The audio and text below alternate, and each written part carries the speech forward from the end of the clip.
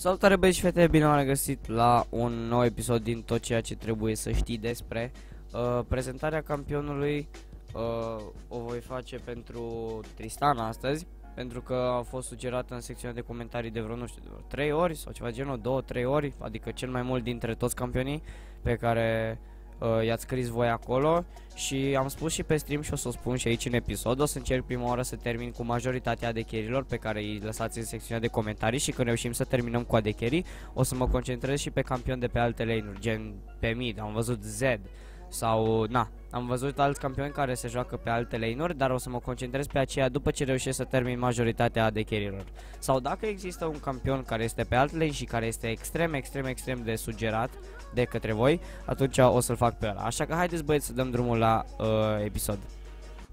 Am făcut o greșeală la videoclipul anterior Am uitat să vă spun despre runele și măestrile pe care trebuie să le folosiți pe Veil dar uh, am noroc că sunt exact aceleași ca și cu Tristana și runele și maestrile sunt exact la fel. Deci pentru, pentru rune este AD, sunt AD standard maestrile. În caz că nu știți ce înseamnă AD standard înseamnă așa. Cele roșii de AD, cele galbene de armură, iar cele albastre de Magic Resistance. Iar chintesențele, toate cele trei sunt chintesențe de attack speed. Deci uitați, AD, armură, Magic Resistance și attack speed. Și pentru maestrii, foarte simplu 18-0-12, avem așa, pune, puneți primele astea 3, Fury, uh, Fresh Blood, Vampirism, uh, Double Edge Sword, Battering Blows și Warlord's Bloodlust, pentru că am puțin engleză pe Guri. Și uh, am așa, Recovery Age, Tough Skin, uh, Veteran Scars și uh, Perseverance, care îți dă base health regen, ceea ce e foarte, foarte mult, mult mai important decât să uh, îți pui asta cu reduces the cooldown of summoner spells by 15%. O să încep prima dată cu spellurile, o să vă explic fiecare spell care cum ce trebuie să faceți și după aia o să vă zic de build și după aia mai vedem. Deci prima dată să vorbesc despre spelluri, ok? Uh, primul spell pe care ți-l pui în early game este Eul. Eul, din câte știți și voi, uh, uh, dă o bilă pe inamic, poate să fie ori un minion, ori un minion, ori o turetă, ori un campion și apoi ai un, nu știu câte hituri sunt exact, 4 hituri cred, până când uh, îi dai boom la EU ăla și dă ceva damage, adică EU ăla face ca Tristana să aibă o putere de split push foarte mare, deci EU-ul ei este extrem, extrem de important. W-ul ei este o rachetă care Uh, stai așa să găsesc și eu asta. Bun. Eu, W este o, o, o rachetă sare, știi? Gen, poate să sară peste wall-uri, poate să sară peste foarte multe uh, peste foarte multe obiective, poate să sară inclusiv peste peste cannon, ăsta peste cannon, peste Nexus, poate să sară peste turete, poate să sară peste, nu știu, inhibitoare, poate să sară peste absolut tot, tot, tot ce vrei tu. Și indiferent dacă sunt uh, wall-uri mari sau mici, bine, peste wall-ul ăsta așa, dacă vrei să sar de aici, acolo, e imposibil. Dar cred că de aici, de da, asta se poate. Dar cred că de aici, sau poți și aici? Ba mă, uite că se poate. Bă, nici n-am știut. Deci poți să sar peste absolut orice wall cu, cu spellul ăsta și e foarte, foarte important pentru că are un reset. În momentul în care ai dat toate loviturile de pe E unui minion, ți se resetează cooldown-ul de pe W și poți să-l folosești din nou. În momentul în care omori un inamic sau primești assist pe uh, inamicul respectiv, ți se resetează W-ul. Deci să zicem că eu acum omor ăsta, deci să zicem, uite, eu dau W-ul, dau un ăsta, pac, pac, pac. Și acum mi s-a resetat ăla și am din nou W-ul, înțelegi? Și uite, de exemplu, l-am omorât și pot să-mi dau iarăși W-ul. Deci ideea e că se resetează uh, se resetează ori când omori pe cineva, ori când dai toate cele patru hituri de pe E. Nu știu, nu, nu mă credeți pe cuvânt, că nu știu, nici măcar eu nu știu sigur dacă sunt 4 sau 5 hituri. Dar cred că sunt 4, ia stai că mă uit acum. Deci, 1, 2, 3, da, 4. Deci trebuie să dai 4 hituri ca să ți se reseteze W-ul sau uh, trebuie să faci un assist sau trebuie să faci un kill. Astea sunt cele trei condiții ca să ți se reseteze W-ul. Q uh, este un spell care îți dă attack speed și nu are cost de mana, adică asta e un lucru foarte bun că nu are un cost de mana. Deci E și Q sunt componentele importante pentru care tu poți să faci un uh, split push extrem, extrem de, extrem, extrem de bun în tower. Adică uite, dau 23 damage acum de exemplu, da? În momentul în care pușcă bomba, dau 72 și gândiți-vă că acum e minutul 3 când uh, uh, are tureta ceva mai multă armură și îți blochează damage-ul oarecum, adică 23 față de 72 e ceva damage, plus ce primești attack speed că dai mai multe hituri pe tower. Deci am mai spus întotdeauna, uh, Tristana are putere de split push foarte mare pe turete, uh, dar oricum E-ul ei nu se aplică și pe inhibitor și pe Nexus. Deci inhibitoarele și, și Nexusul uh, uh, nu, le, nu le poți nimeri cu, cu EU, nu poți să dai cu EU în ele. Dar cu Q, bineînțeles că poți, pentru că e un spell de attack speed. Și ultimata, bineînțeles, asta fiind și ultimul, uh, ultimul spell al ei, uh, pur și simplu te împinge. Și un avantaj, adică play-ul cel mai bun pe care poți să-l faci cu ultimată, uh, e în felul următor. Dau un target, bun, și așa, dai E, Q, Q, Q și mă rog, să zicem că la un moment dat l-ai făcut la OHP după ce ai dat și dai dai uh, ultimata și mai prinzi încă un hit. Deci în momentul în care dai ultimata mai poți să mai prinzi încă un hit. Ați văzut? Asta, e, asta, la asta trebuie să te concentrezi, nu să-i dai râu așa pe sec, știi? Trebuie să-i dai, ca să fii sigur că l omoari, dai râu și mai dai încă un hit. Pentru că de obicei când ești full build sau ai cele trei iteme de crită, dai încă o crită și sigur e mort. Dar în general, de exemplu, ăsta, ăsta build-ul ăsta, nu build-ul mă, cum îi zice, combo-ul ăsta, așa. Combo-ul ăsta se folosește în momentul în care uh, ai bomba la al patrulea hit și acum dai ultimata, pam, bum. Ați înțeles? Deci îmi vă arăt încă o dată. Deci este E, dai toate hiturile, ultimul, șbang, și ați văzut, hit.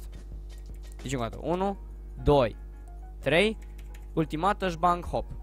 Mă rog, am dat două ultimate acum, dar ați, ați înțeles care e ideea, uite, vă, vă, vă arăt și pe asta. 2, 3 și acum dai ultimata și mai dai încă un hit. Aia e ideea și așa se face combo cel mai bun combo care dă cel mai mult damage pe Tristana și destul și rapid, de, destul de rapid zic eu. Puh! E dimineața și vorbesc destul de greu, mă scuzați.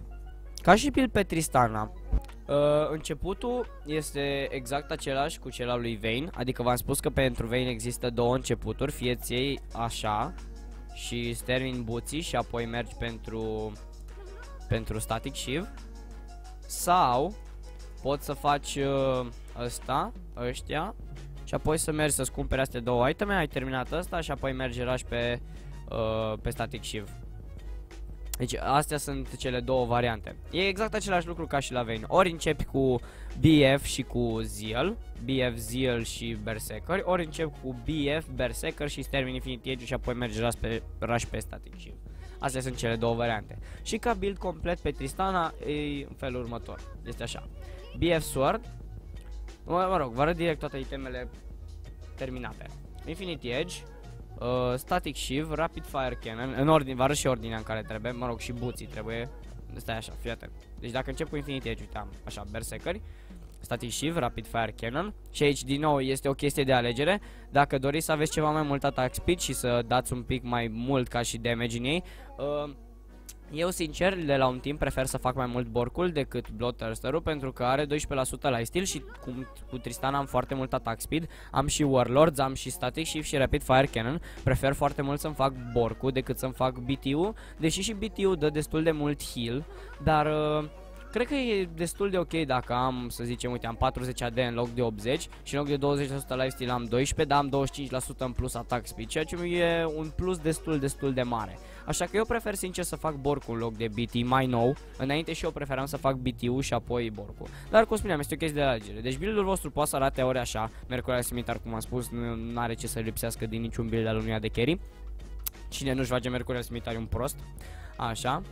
Și ori așa.